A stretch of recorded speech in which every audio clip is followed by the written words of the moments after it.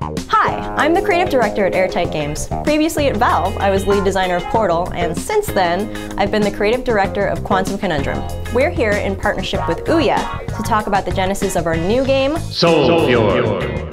Soulfjord is a rhythm-based roguelike that blends Norse mythology with 70s funk.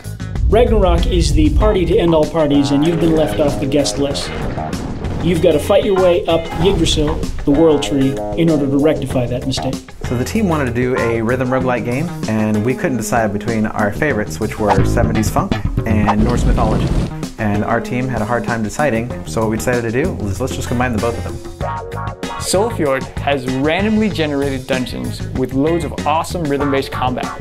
Our environment and characters are a fantastical blend of Norse mythology infused with a 70s funk soul. Soul Fjord is a, a unique game, and the indie-friendly attitude that Ouya brings to the table makes it a perfect fit for the console. I'm really excited for our team to bring Soul Fjord to life on the Ouya.